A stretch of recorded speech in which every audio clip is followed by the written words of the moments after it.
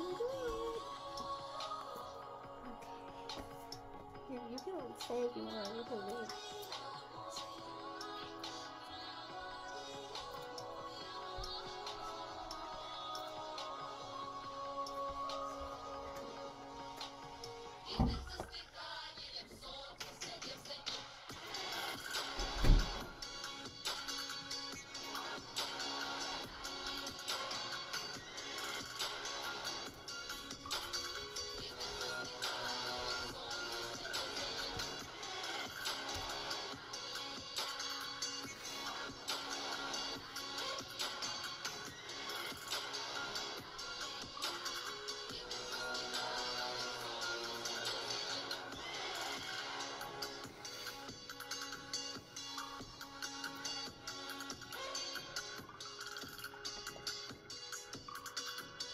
Okay, everybody, so welcome to my Facebook Live.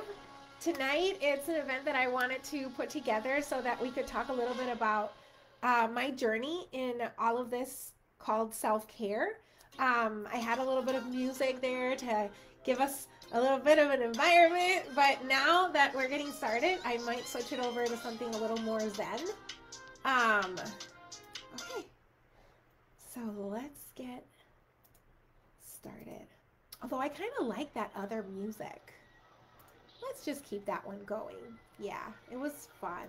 And I I'm feeling the Friday night vibes. So I kind of want to just go for that. Yeah.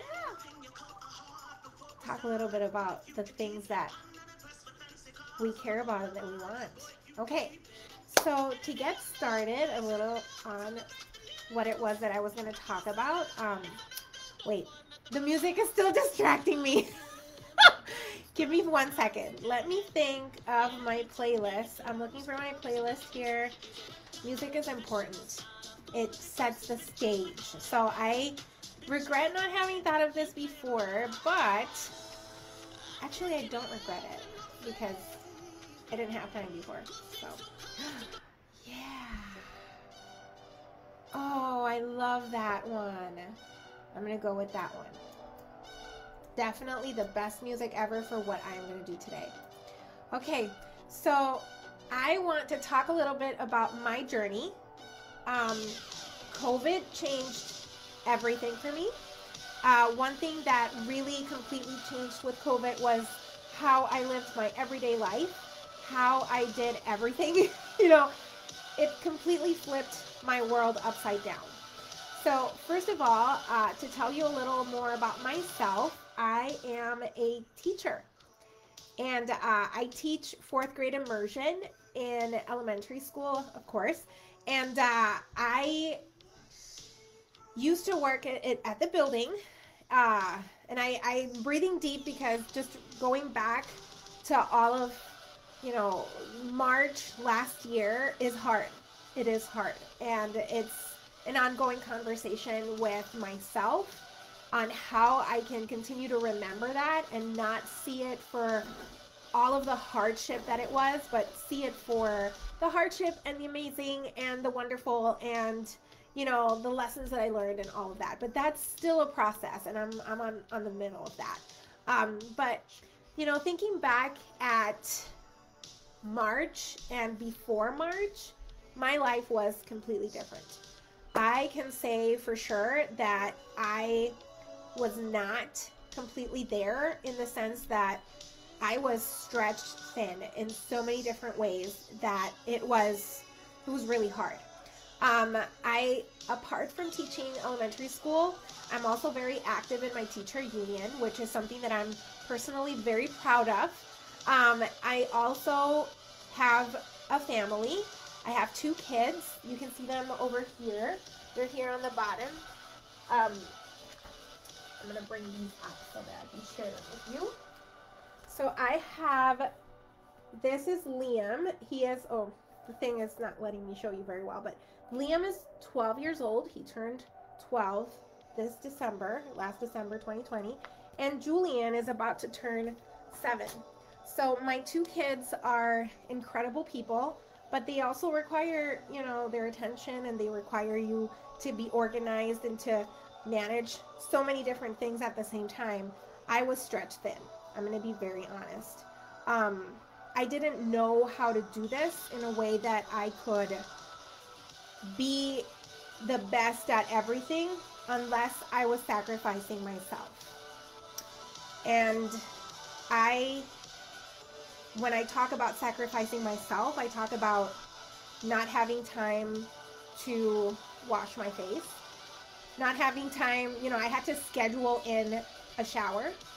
Um, I had to figure out how I was going to sit through lunch, eat, and work at the same time so that I could do all of my work at the building and not have to take stuff home.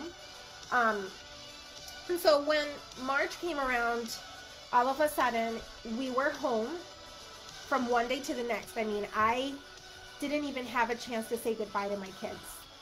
And I was afraid that we were going to have one more week and that was going to be it. And then we were going to be home. And that, not even that. We didn't even have that. We were sent home on March. And, you know, that last hug I gave them on Friday was the last that I saw my students for that year. So that was a big challenge because after building all of those relationships and having everything come together in a way when you know when march get comes around you hit the ground running and you get through that learning in such an amazing way because your relationships are already there and your kids know who you are and they they kind of you know feel you and they understand you so when we were sent home i had no idea how to do a zoom meeting or a google meet i mean i had been looking at it that last week that we were in the building because I was like, okay, kids, if we need to communicate, we have we need to have a plan and we were talking about that. But, you know, we were so far away from knowing any of that or using any of that that they those tools were restricted on my students' accounts because we had no need for a Google Meet or anything like that or a Google Voice or I had no idea that even existed. So for me, it was it was a big deal. And so I am the kind of person that when I'm thrown into a challenge, I go like, okay, you know, my adrenaline starts pumping and I'm like, okay, we have a challenge, we have a crisis. What are we going to do right now? What is the first step we're going to take? How are we going to keep people alive in this? how are we going to manage all of the different things? And i just my brain just goes on overdrive and i can do it. I can get through a crisis. But by the time summer came around i was really tired. I was exhausted. Um, i was sad because i didn't get a chance to say goodbye to my students um, in a way that you know the way that we usually say goodbye, which is still gut wrenching. I mean, I cry every June and that last bus ride when we go outside to the bus corral and we say goodbye, I cry. So, you know, for me, it was a big deal that I didn't even have that. But at the same time, I felt that the moment needed me to just pull through the moment needed me to just be okay with that because even when I couldn't fill my bucket of closure, I was safe. My students were sent to the best place in the world, which is their home with their parents. And we were all in this together, doing what we could to stay safe. So, in that sense, I kind of feel like, you know, we needed to step it up and we needed to just gut up, do it, and not say goodbye. And that's just how it happens. How many people have terrible accidents and they lose loved ones and the loved ones, you know, they didn't get to say that last goodbye. It happens every day. So for me to be going through that is nothing. I can see them tomorrow. You know what I mean? I can see them later. It's just that I can't see them for now. And that closure is still pending. It's in my to do list, but it will happen at some point if I keep myself safe.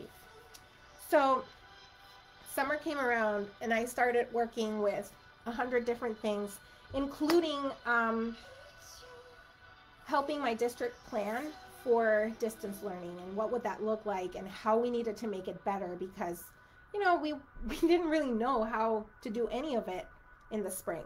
So after the summer was drawing to a close, you know, I usually have my summertime and I spend it with my kids or I book a trip to Puerto Rico to see my family. They're already like the, all of them are there. And I was super sad because I couldn't get to do that in March. March spring break was going to be the first time I was going to travel back at that time. Um, and then go back maybe in the summer or late in the summer. Um, but then with COVID, you know, everything was shut down. Um, and I, I didn't feel bold enough to be able to go on a trip on an airplane. I still don't feel safe enough to do that. Um, especially with my parents being older people and um, having conditions like medical conditions that I know that if I expose them to COVID, you know, it could get them really sick or they could die. So I basically was here at home and it has been the most eerie thing ever because I'm here at home. I'm literally motionless. I can't go anywhere. But it is the time where I read all the distance learning books. I met 500 times in a week with people. I had never gone to so many meetings in such little amount of time. You know, it was a time where my brain was in such an overdrive that I just couldn't get it to stop. So, school year starts. I asked for an accommodation to work from home because my husband has a health condition, I have a heart condition, and you know, I really felt my heart condition causes anxiety by nature. So I think that I got stuck into a really bad anxiety feedback loop. It was really affecting me.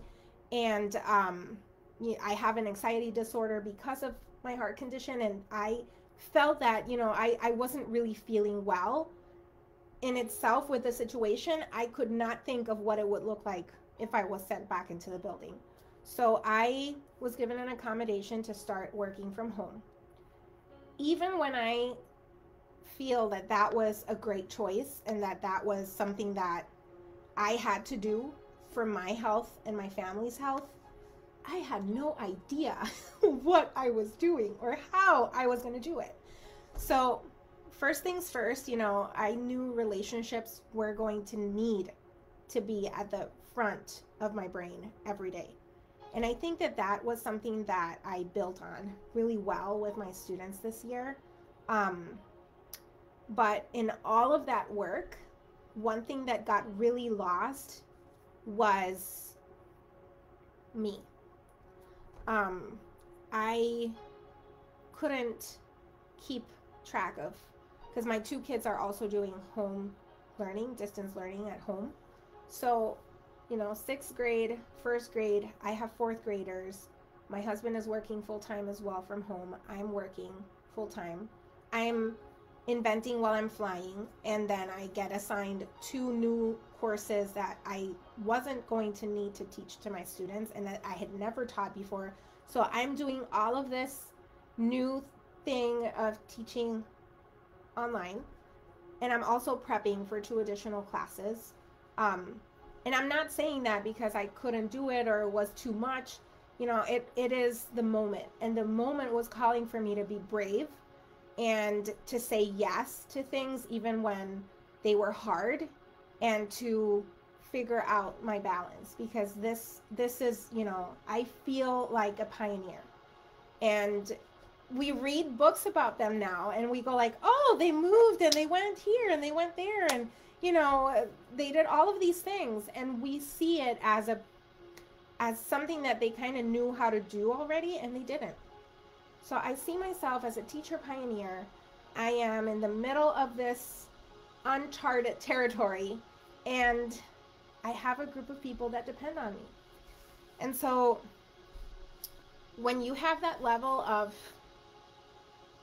weight on your shoulders, the one thing that can get lost is you because you're taking care of all of these other things. You're making sure that if fires come up, you put them out, you know, or you, whatever. And and I kind of lost vision of me and of taking care of myself. The other angle to that is the fact that I was getting up in the morning and I wasn't going anywhere. So pajama bottoms were a thing. They were my favorite thing for the first three weeks. Anybody that has ever worked with me knows that I like to dress in a way that I express myself. I like colorful and I like combining things and I like, you know, it's my way of armoring up for my day and, and being ready. And so I felt all of a sudden that that too was gone. I didn't need to wear anything special.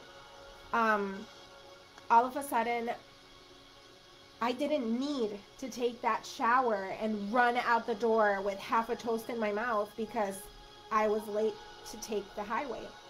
None of that was there anymore. So all of a sudden, it's like, okay, so when am I taking that shower? I don't have that crunch time. I don't need to do things running anymore. So for me, I think that that, that part was one of the hardest parts because all of a sudden, you know, I've been without a shower in four days. My students are taken care of.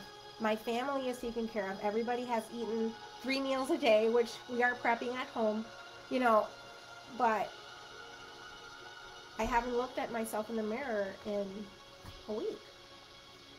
And I'm looking at myself through a camera but I am not taking time for me to just look at me.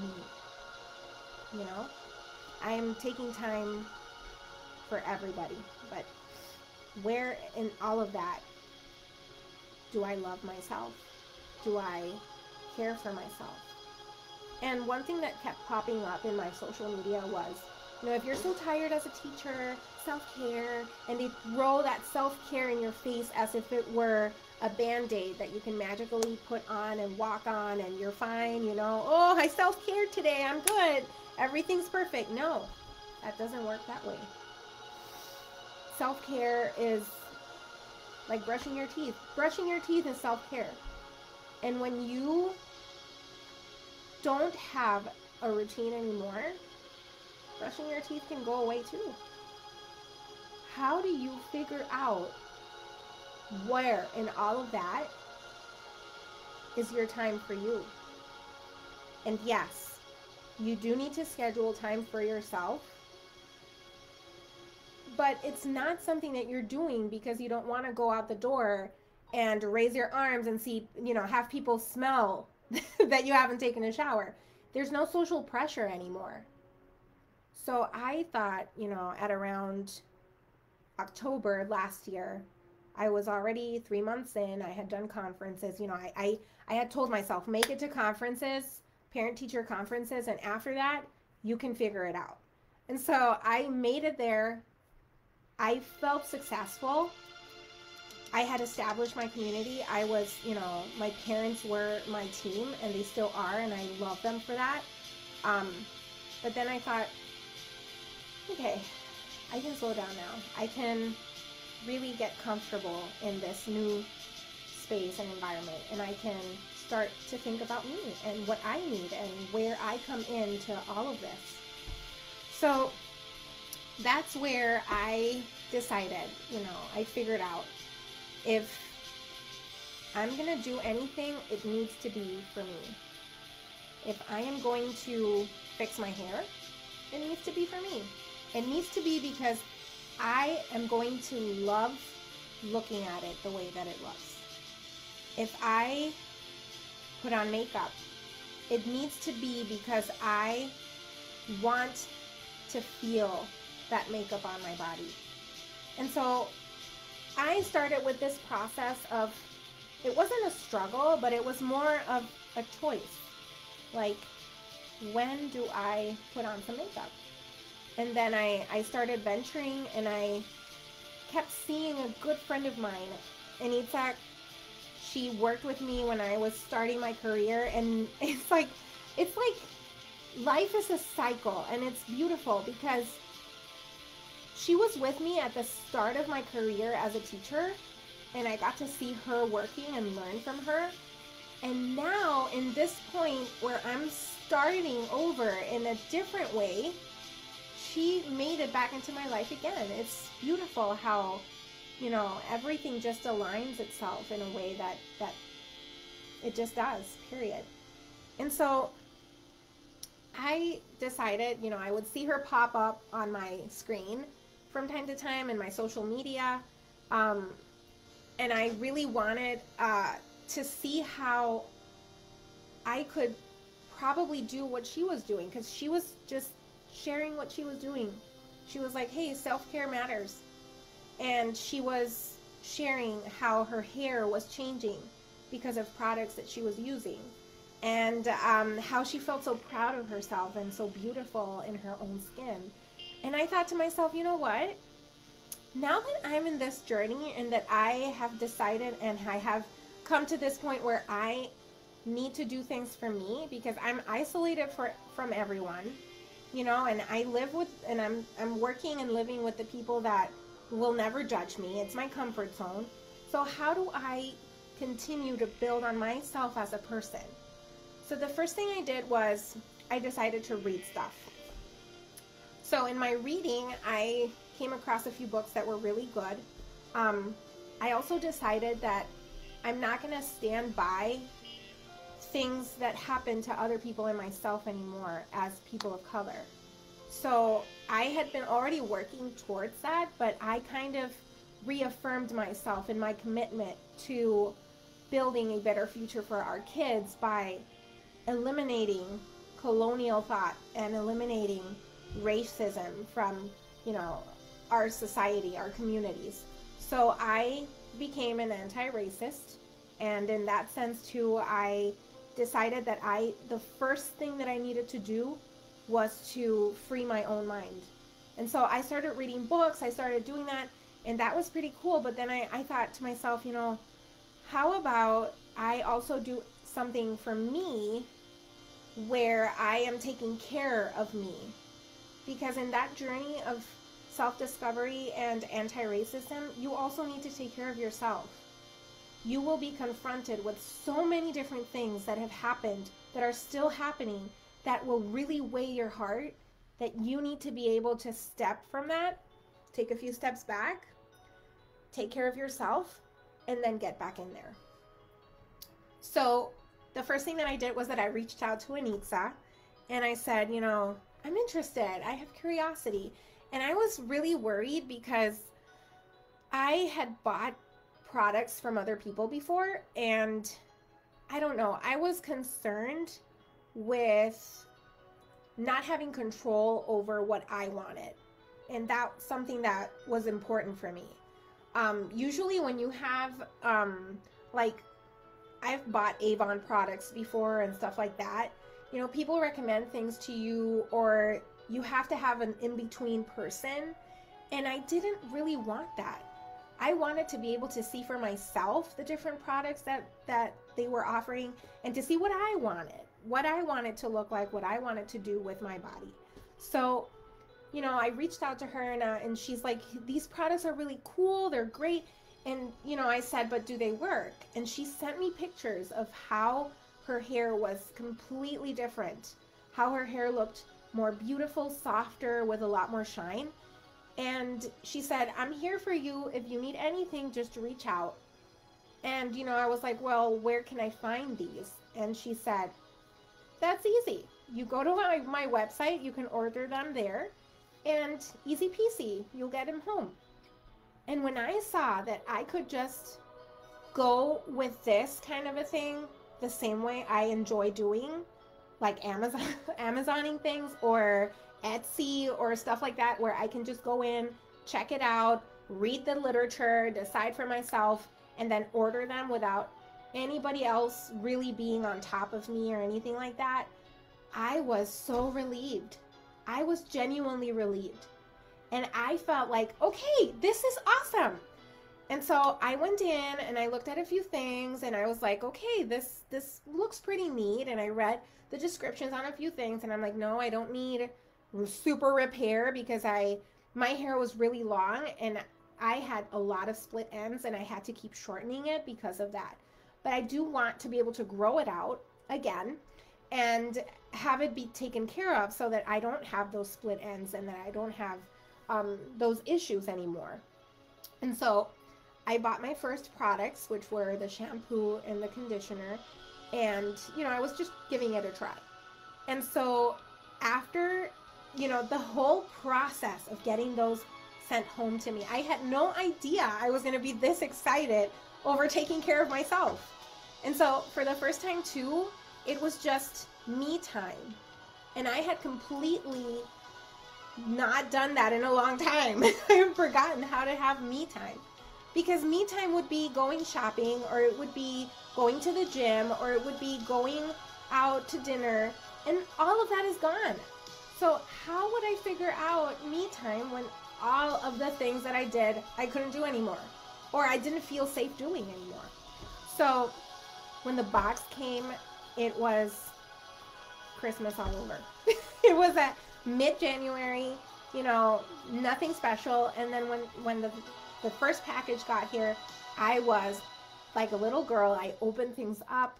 I smelled. It didn't smell a whole lot. So for me, that was like, oh, I love this. It smells clean because I don't have a bunch of smells. I can just put perfume on, and the perfume is the stuff that's going to smell. So I went, took my first shower, and instantly I could feel my hair just transforming. It was like it was softer, like all of a sudden it was lighter. And I was like, oh, this is cool. I might do this again. And it was it was pretty neat. Cause then after I finished um taking care of, of like styling my hair and everything, it took less time for me to style it. That is the truth. It took less time for me to style it. It took less heat for me to style it. So I didn't need to like put on the super hot heat and like with the diffuser thing, not the diffuser thing, but there's like this little piece that you can put on the blower, on the tip of the blower that concentrates the heat on. I didn't need to do any of that. And it was like that for me was the first indication that that this was a great great product. I even turned to Jamie and I'm like, "Hey, look at this.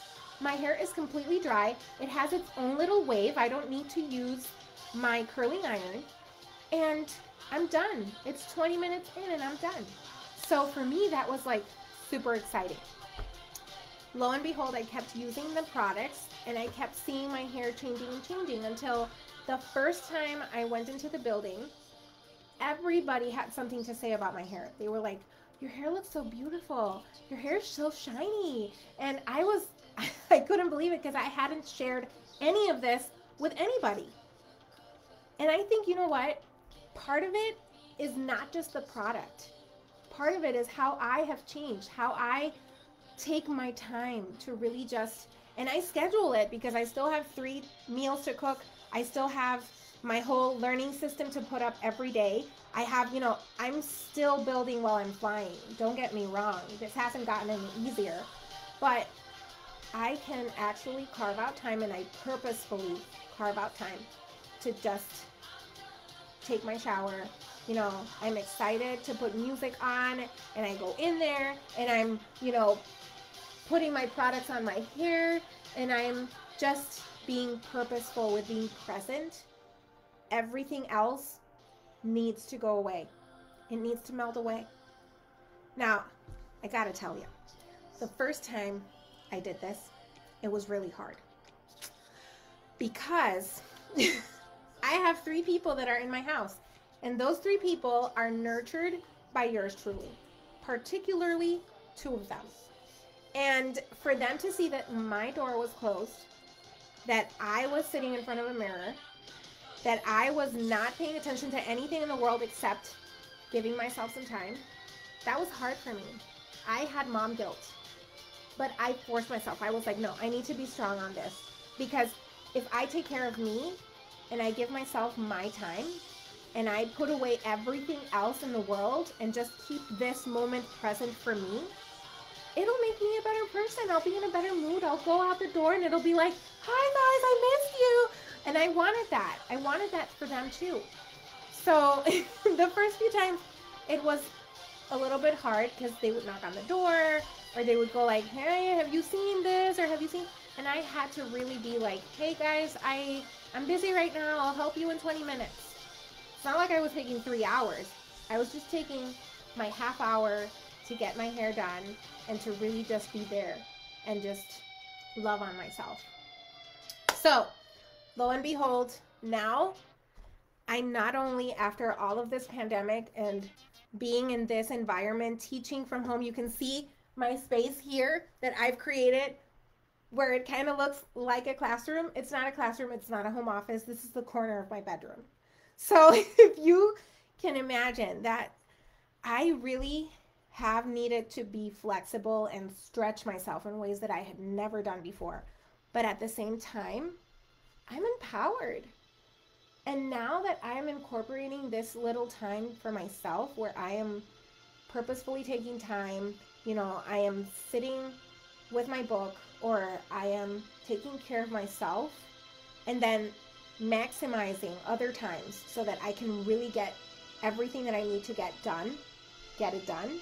You know, I I feel like I can do anything. I can do anything. And one of the things that really drove it home for me was the fact that I can feel this good about myself. And yes, I've put on weight. I'm going to be very honest. I put on weight and I am cooking more than before. I'm getting burned by my stove and my stuff. But at the same time, I I can do this. And I can do hard things. And I can feel good about having done all of that and still put it away and just be me.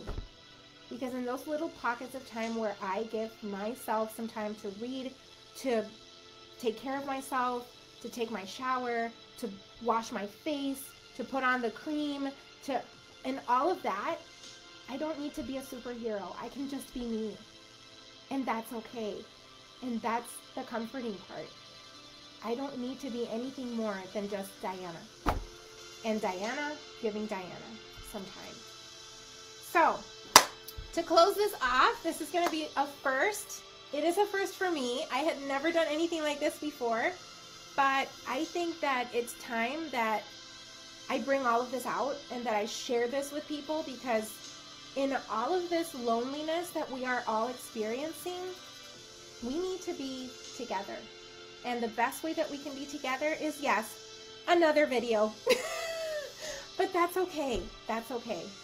Because maybe nobody's like, you didn't see this at the moment where I recorded it, but you'll see it in a week. And it, it will lighten up your day.